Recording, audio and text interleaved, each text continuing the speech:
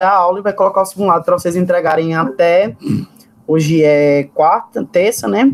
Até quinta-feira, mais ou menos, para poder ter. Até amanhã, no caso, para poder ter respaldo dos monitores de vocês para a aula de sexta.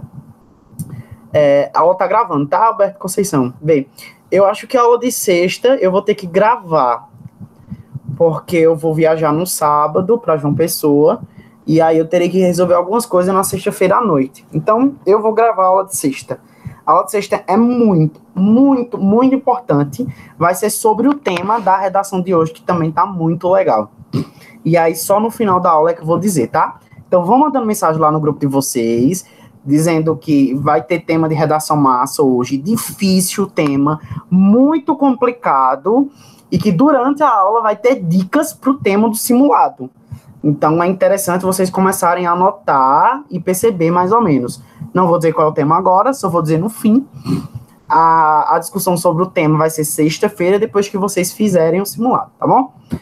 Como vocês sabem, nós estamos no módulo de atualidades, como a gente já vem discutindo, desta vez eu tentei acoplar a atualidade 2020.1 e 2020.2.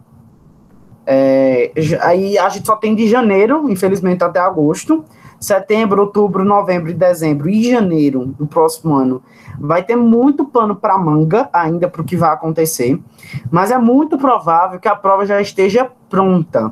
Então ela vai ser discutida hoje o tema da prova da de redação. Desculpa. Vai ser discutido hoje o tema da prova de redação. Então, por isso que essa aula acaba se tornando importante, tá? Janeiro, a gente viu que tem a, o, o documentário Democracia e Vertigem é, concorrendo ao Oscar, né? E a polarização política, que ainda continua no nosso país, desde o golpe é, da democracia em 2016. E isso vem perdurando até hoje. A gente viu também os problemas no Enem, no SISU, né, que 6 mil candidatos perceberam erros na correções das suas notas do Enem, então se preparem, porque vamos ter erros de novo na prova do Enem de novo. Lembrando que a prova do Enem vai ter que se usar máscara. Então é interessante que vocês comecem a assistir aula de máscara, comecem a fazer exercício de máscara e principalmente comecem a fazer todos os simulados de máscara. É muito importante isso. No meu ano de vestibular, toda vez que eu fazia simulado, eu fazia um ritual antes de começar o simulado. Eu respirava fundo e fazia. Eu me preparei para isso, eu estudei para isso, eu estou pronto para isso. Toda vez eu fazia isso, era incrível. Três vezes eu fazia isso. E aí, na hora do Enem, antes de começar a fazer o Enem, eu fui fiz isso, bati palma no meio do povo, o povo tudo estranhando. Mas ali traz para o meu subconsciente que é como aquela prova do Enem fosse mais um simulado. Que eu tivesse feito fazendo somente para simular e que eu daria o meu máximo ali, porque é um simulado qualquer. E aí foi quando eu percebi que eu fiquei muito calmo durante a prova. E todas as vezes que eu ficava nervoso, eu fazia isso e eu me acalmava. Existe uma técnica também que é do quarto, que é o seguinte: na verdade, não é do quarto, é do ambiente que você estuda.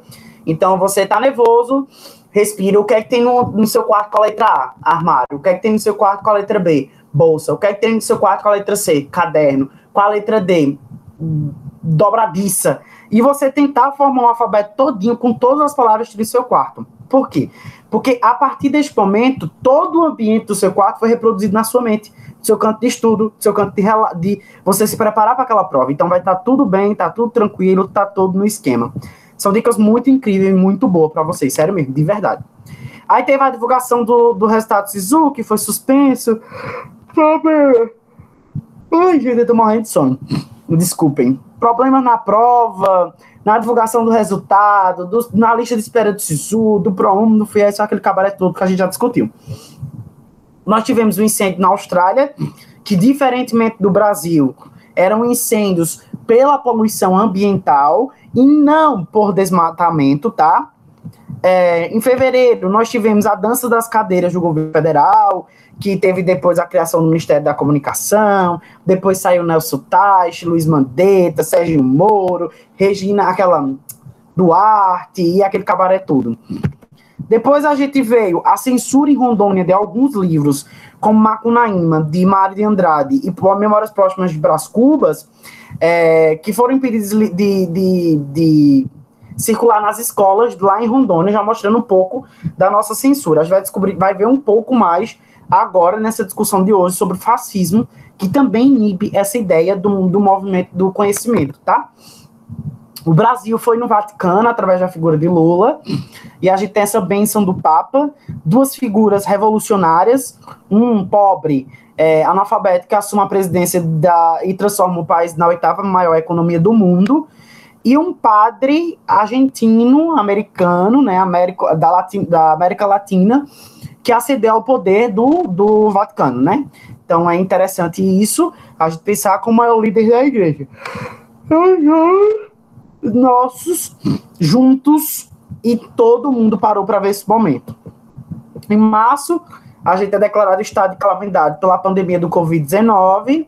Aí vem a quarentena do Covid-19 tentando fazer com que essa capacidade do sistema de saúde diminua, é, possa suprir todas as necessidades de pessoas com, com casos de Covid-19 através das medidas de proteção. Depois, 11 de março, existe a, a declaração oficial da Organização Mundial da Saúde, de que se existe sim uma pandemia, a pandemia do Covid-19, agora a gente está tentando a busca pela vacina.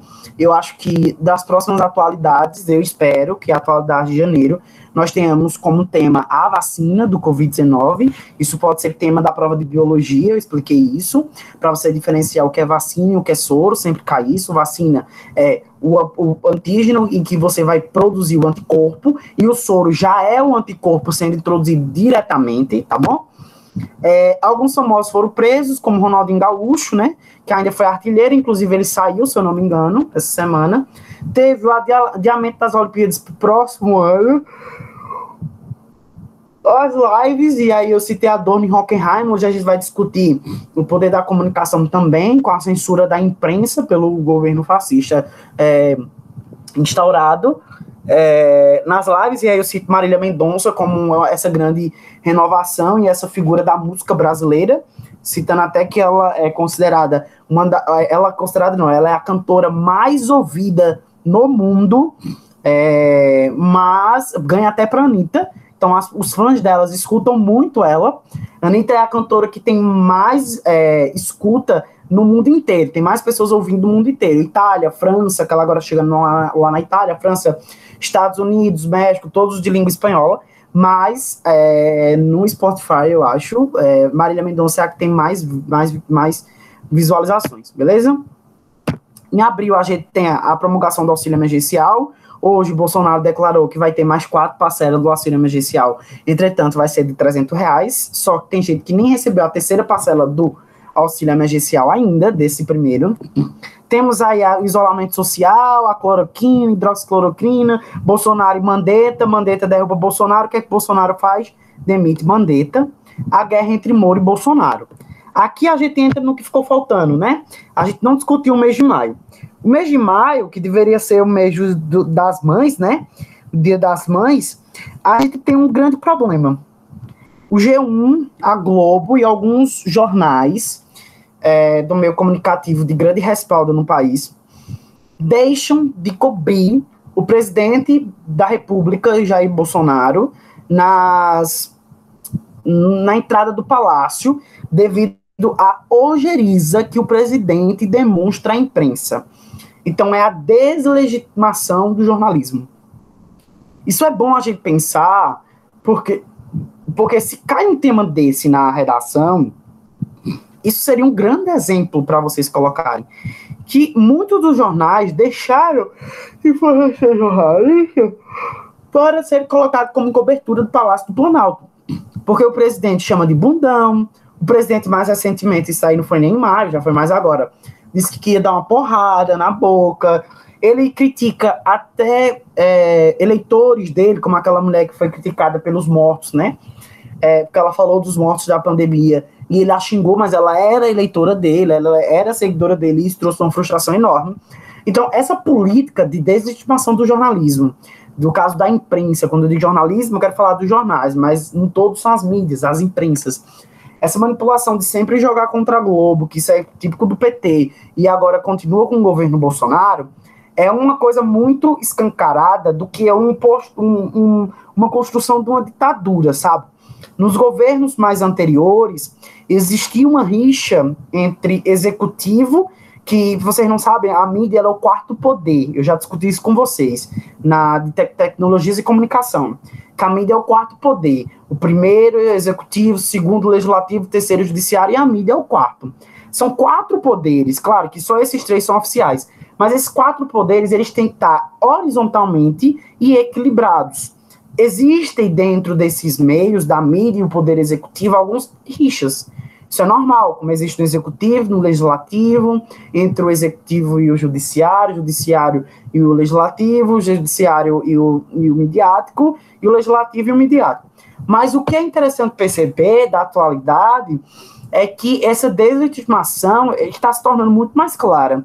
É possível até as pessoas pensarem em não tomar uma vacina porque ela foi vinculada por algum jornal porque algum é, programa mostrou isso, ou sempre associar algo ruim àquele programa. Isso é incrível a gente perceber que pode-se existir a crítica ao quarto poder. O que não se pode existir é a deslegitimação desse poder. Ele é legítimo, ele existe, ele é necessário existir. Ele pode estar errado, eu posso criticar, mas eu não posso desmerecer seu trabalho. Então a gente viu isso muito escancarado ultimamente são xingamentos de bundão. Então veja a infantilidade de você chamar um, um poder que está perto de você, um poder que manda tão quanto você de bundão. Veja a infantilidade, né? E aqui a gente tem a construção nesse mês de maio dos protestos contra o fascismo. É, está aqui, vocês, vocês lembram, as brigas entre as, os times de torcidas organizadas. E eu acho muito interessante essa faixa que traz desse movimento, que diz assim: se não há justiça para o povo, que não haja paz para o governo. Uma nação de ovelhas gera um governo de lobos. Nós somos as insurgências das ruas. Por quê? Porque neste exato momento a população começa a acordar porque se tem da construção do fascismo. O que é o fascismo? O governo legitimado no ódio, no poderio de armas, na luta do povo contra o povo e nessa especulação de fake news. Então, esse é o poder pautado hoje no Brasil, e é interessante vocês terem noção de que sim, ele está atrelado sim ao fascismo. Eu tentei entrar, encontrar um poema, só que eu não lembro de quem era, que ele fala justamente dessa construção do fascismo. Eu posso até depois, um dia, quando achar, colocar, para vocês utilizar na redação, mas é um poema da década de 20. E, ou seja, na década de 20, o governo neoliberal nem existia, o governo Bolso Bolsonaro nem era vivo, ou suas representatividades como governo é, neoliberais fascista, mas a descrição dentro do poema é exatamente igual como esse governo se comporta. Então é interessante a gente pensar esse fator, tá? É, outra coisa que a gente aconteceu em maio é justamente a morte de George Floyd. Ser que não caia, mas o que se discute dentro da morte de George Floyd é que isso é um problema que aconteceu nos Estados Unidos, mas é bem característico do nosso país. Marielle Franco morreu assim, Joãozinho morreu assim, Maria vai morrer assim, Fulano vai morrer, vai morrer assim, João vai morrer assim. Essa é a típica realidade da periferia ne, da periferia brasileira. É a pessoa que é morta com 80 balas perdidas. Como? Como uma pessoa morre com 80 balas perdidas. Engraçado. Todas as balas perdidas encontram um destino. Se ela encontra um destino, ela não é perdida. E detalhe, esse destino sempre é um corpo negro, nunca é um corpo branco. Vocês já pensa, pararam para pensar? Então são balas perdidas que encontram seu destino em corpos negros. Então é incrível a gente começar a pensar nessa ideia, tá? Do que é isso. Inclusive, eu não posso falar muito sobre racismo, porque é, vai ter um aulão, a gente tá preparando um aulão. Eu não sei se vocês viram que eu comprei alguns livros, Judith Butler, é, Simone de Beauvoir, Jamila Ribeiro, tem Pierre Bourdieu, Michel Foucault, Mikhail Bakhtin, Aquile Bembe, Ariano Suassuna, Nelson Mandela e Viviane Mosé. Eu vou tentar trazer 10 filósofos sociólogos que vão e Paulo Freire, que vão discutir várias perspectivas. Dentro do movimento negro, do racismo, eu trago Djamila Ribeiro, né? E dentro dessa construção, a aula já está prontíssima, tá linda, perfeita. Eu vou trazer mitologia africana, que é uma coisa extremamente rara, que poucas pessoas sabem. É, eu vou tentar trazer pelo menos duas histórias de mitologia africana para que vocês consigam contextualizar na redação na introdução. Então vai ser legal. Então já podem atiçar o pessoal aí, começar as ideias, animar, porque a gente vai tentar abrir para o público, vai tentar fazer com que as pessoas assistam e eu quero um público enorme, não para me enaltecer, mas sim para que o conhecimento seja dinamizado e a gente possa fazer o que o Estado não está fazendo, né? Porque o Estado não dá educação, mas mata corpos negros com balas perdidas que encontram seus destinos. É muito bom a gente refletir sobre isso, tá bom? Outra coisa, vamos ver o mês de junho.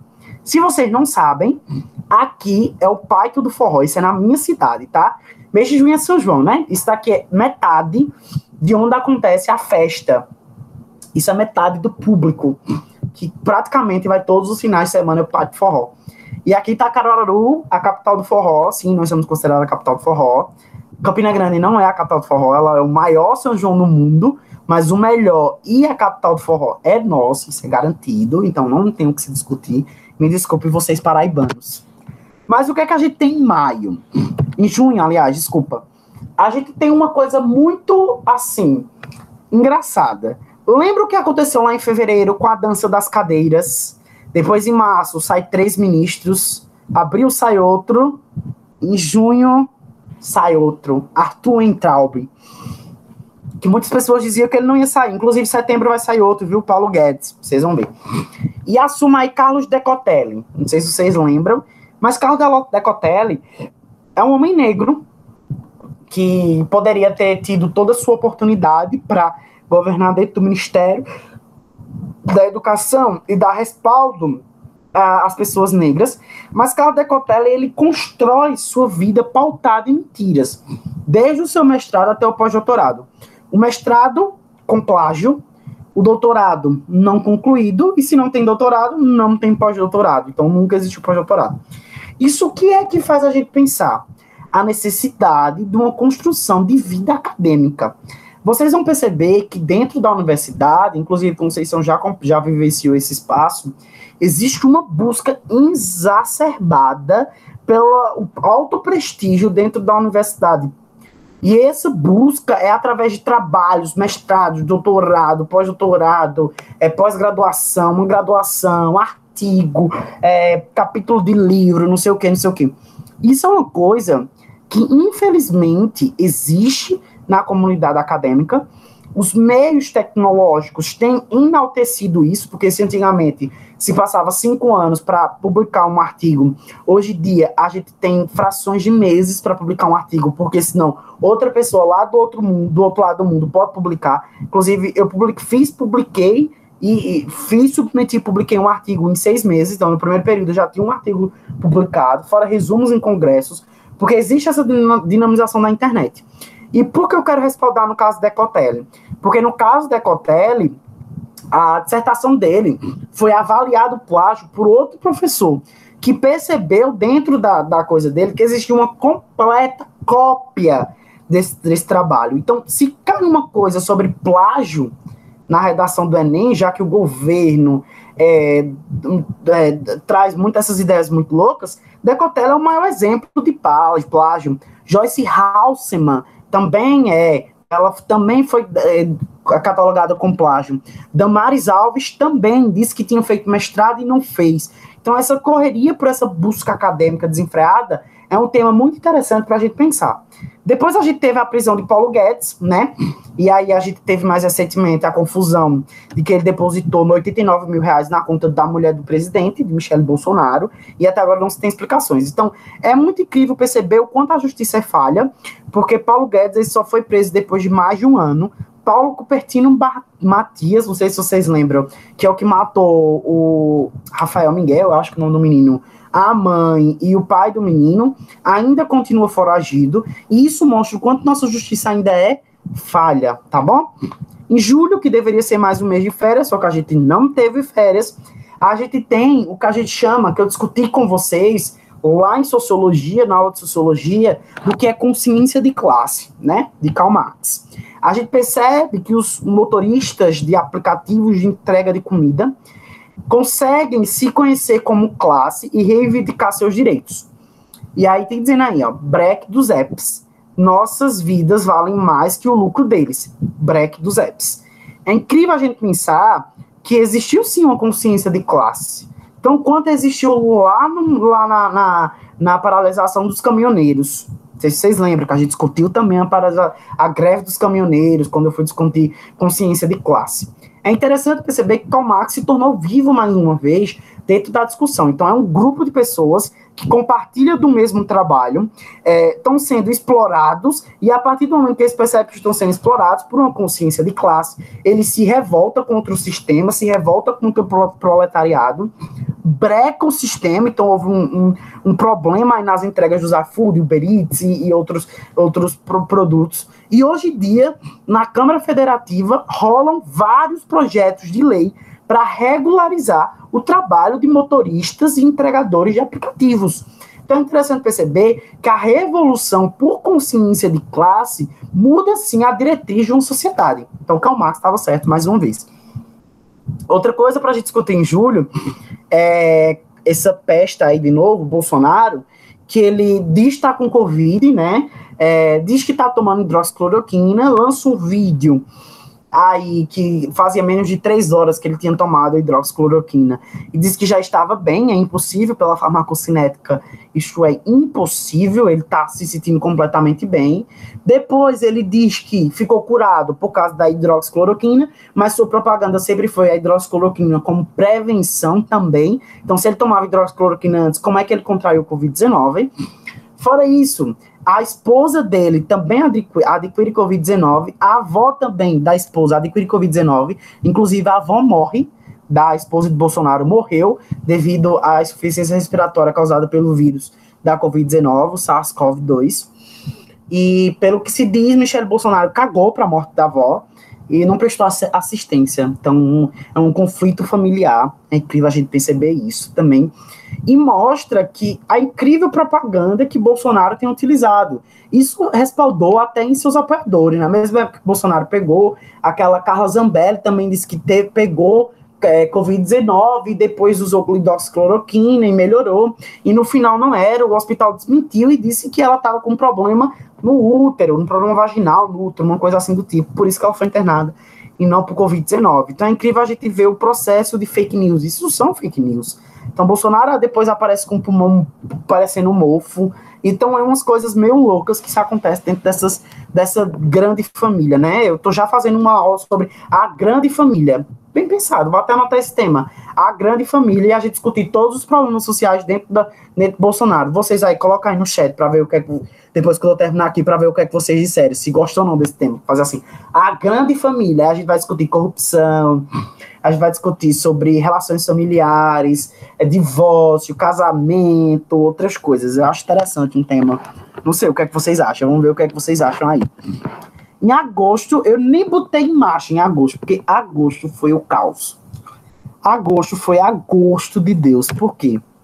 Nós temos, primeiro, a condenação, praticamente a condenação desse, da menina que foi estuprada pelo tio, se não me engano, padrasto, a engravidou, uma menina de 13 anos.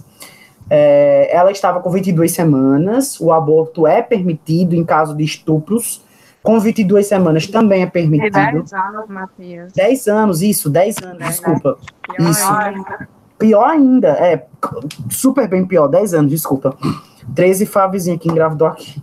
10 anos, mas tá. É, o que é que eu quero chamar a atenção para vocês? Que ela foi vítima de estupro, então ela tinha direito ao aborto. Ela estava com 22 semanas, vocês vão ver que na faculdade, quando vocês entrarem na faculdade, que o aborto é permitido até 22 semanas e que o feto tenha menos do que meio quilo. E isso é muito relativo, porque às vezes os médicos podem deixar o cordão umbilical grande demais para que passe as 500 gramas, ou curto demais para que diminua as 500 gramas. Vocês vão, vão, vão ver isso mais na faculdade, porque assim, depois das 500 gramas, o médico não pode mais descartar como lixo biológico, ele tem que emitir certidão de nascimento, depois emitir certidão de óbito, tem que ir para cemitério, enterrar. Então, muitas vezes os médicos preferem cortar o cordão umbilical bem menor, para que fique menor de 500 gramas, e poder é, no caso, descartar como lixo biológico para que não cause, cause muito danos à mãe, no caso que tem aborto espontâneo, né? Porque tem gente que quer gerar, não consegue gerar e aí aborta. Mas é interessante pensar no caso da menina, porque a gente pode discutir sobre o estupro, né? O estupro, a, a questão do estupro, a questão do, do da, da, hipocrisia social, né? Porque foram em frente ao hospital é, chamar o um médico, doutor é, Olímpio, que é daqui de Pernambuco, de Recife, é, que já faz esse procedimento há muito tempo, de assassino. E é um médico que está completamente comprometido com o seu trabalho. Foram pessoas que se aglomeraram, fizeram um motim, né? Destruíram, depredaram o patrimônio público. Tá, mas Matias, esse é o pior caso? Não, porque a menina, ela foi, ela conseguiu fazer o seu aborto. Por mais que ela tenha acontecido em Minas Gerais, teve que ir para o Espírito Santo, só conseguiu fazer em Recife, mas eu acho que a gente tem que destacar é o que Sarah Winter fez. É, em questão de que, tipo, não houve nenhuma compaixão por parte de Sarah Winter é, em entender que expor os dados da menina traria muito mais problemas para uma menina que estava completamente debilitada. É interessante a gente pensar isso porque o útero, hoje em dia, ele tem dono as pessoas do, domaram o útero das mulheres. E aí, quando eu digo, na verdade, eu nem digo mulheres, eu digo da, domaram uh, o útero das pessoas que têm úteros, né? Porque sabendo que temos mulheres trans que não têm útero. Mas o que eu quero discutir é a questão do útero, né? Que é o útero da mulher, ele hoje é completamente dominado. Então, o poder, isso é incrível, porque na faculdade de medicina, de Recife, a primeira turma foi negado o direito a uma menina fazer o curso de medicina porque o médico é, laudou, isso foi em 1800, que ela poderia estudar demais, e por ela estudar demais, isso poderia comprometer a funcionabilidade do seu útero. Veja, isso foi uma coisa de 1800, a gente está em 2020, são 220 anos depois. E o que é que acontece? Continua a mesma discussão. E eu acho que o destino ele é tão é, assim, tão bonito, que as mesmas pessoas que condenaram essa menina foram políticos ditos conservadores, evangélicos e católicos, né? Os cristãos.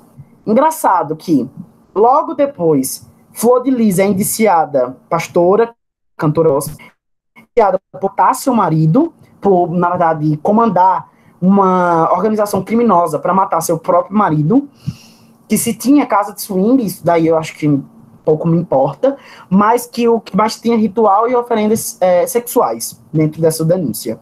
Então, assim, as mesmas pessoas que defendiam, que foram lá defender o que é vida dentro do útero da menina, não defenderam a vida de Anderson do Carmo, né? Então é incrível a gente pensar isso. Outro detalhe da gente pensar é desses três aí embaixo. Porque a gente tem Wilson, Witzel e Pastor Everaldo. Wilson Whittle é um político conservador que também está preso por corrupção. E Pastor Everaldo ajudou nessa corrupção. Então a gente tem uma pastora, um pastor, aqui a gente tem um padre que estava em corrupção e um político. Então as quatro faces do que seria é, com, que condenou a política do aborto, no caso de uma menina de 10 anos, engravidada por estupro, que hoje em dia se encontra extremamente feliz, e eu vou mostrar a vocês que ela hoje está feliz, é, é, foi completamente respaldada por outros escândalos. Então teve o caso de Flor de Lis, da pastora Flor de Lis, do pastor Everaldo, do padre, que eu me esqueci o nome dele, e do político. Então foi a política conservadora de Sarah Winter, demonstrada com Wilson Whitson. Então Sarah Winter defende Bolsonaro, Bolsonaro apoiou a cantadora de, de Whitson lá no governo do Rio de Janeiro o padre que é, fazia propina com dinheiro para a construção de uma basílica em Santa Catarina, o pastor que estava dentro da corrupção e a pastora que mandou matar o marido. É incrível a gente pensar isso, essas contradições da vida. Isso aqui é a mesma redação que eu tinha mostrado antes, né, sobre a pandemia do Covid-19 e os problemas mentais. Beleza? O que é. Vamos lá, vamos ver o que é que vocês têm de dúvida. Alguma dúvida? E aí, Alberto e Conceição, alguma dúvida? Matias, eu tenho uma dúvida, não sobre o assunto, mas é porque eu vi hoje que é escrito a Covid-19. Só que eu escrevo o Covid-19 na redação. Aí tu escreveu o Covid-19. Aí eu tô em dúvida se é A, se é O, ou se os dois são válidos. É porque quando eu digo a Covid-19, eu posso estar me referindo à pandemia do Covid-19. Então pode estar o sujeito, o, a palavra implícita, a pandemia do Covid-19. Mas o correto é. Deixa eu ver se. Não, então é a, eu vou pesquisar direitinho, mas eu acho que é a Covid mesmo, eu escrevi errado.